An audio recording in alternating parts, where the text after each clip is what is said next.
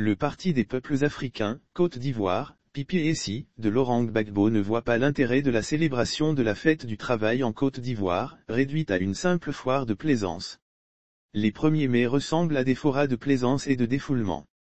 Ce sont de simples exutoires servant de fuite en avant pour déplacer les problèmes quand on ne peut pas les résoudre, selon le Parti des peuples africains Côte d'Ivoire, PPAC. Le dénuement total, c'est dans une atmosphère de dénuement total des paysans que s'ouvre cet autre 1er mai, qui ne sera certainement pas différent des autres 1er mai depuis l'avènement du régime Ouattara, est convaincu comme Kofi, secrétaire général adjoint chargé des syndicats et du monde du travail. Dans une déclaration publiée ce dimanche 1er mai 2022, ce parti estime que depuis la prise du pouvoir par Alassane Ouattara, les relations entre les travailleurs et leurs employeurs sont si exécrables qu'il est impossible d'en savoir le baromètre réel aujourd'hui. Dès 2012, des licenciements abusifs sur fond de règlement de comptes politiques, teintés de tribalisme ont rythmé le quotidien de tous ceux que le pouvoir soupçonnait d'opposants.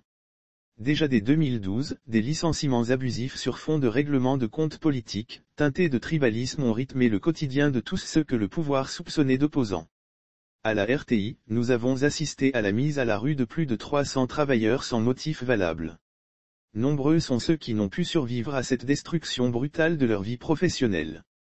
Au port autonome d'Abidjan, ce sont plus de 500 travailleurs qui ont vu tous leurs espoirs ruinés. Cette saignée a continué jusqu'à ce jour. En 2018, ce sont près de 1000 travailleurs de la CDCI qui sont licenciés sans autre forme de procès. Lire aussi Côte d'Ivoire, ce que le président Ouattara a dit pour la fête du travail en 2021, les sociétés SDTM et Global Manutention se sont séparées de près de 400 travailleurs pour dit-on fait de grève. Ils n'ont ni document, ni droit de licenciement. Ils sont dans la rue depuis le mois d'août malgré toutes les démarches entreprises, a énuméré M. Comoé qui a ajouté que ces cas ne sont que la face visible de l'iceberg. Aujourd'hui les licenciements sont légion et le monde du travail se porte de plus en plus mal.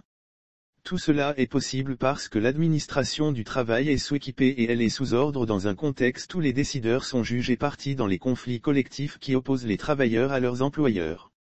Le tout couronné par un code du travail plus coercitif pour le travailleur que protecteur, a-t-il souligné.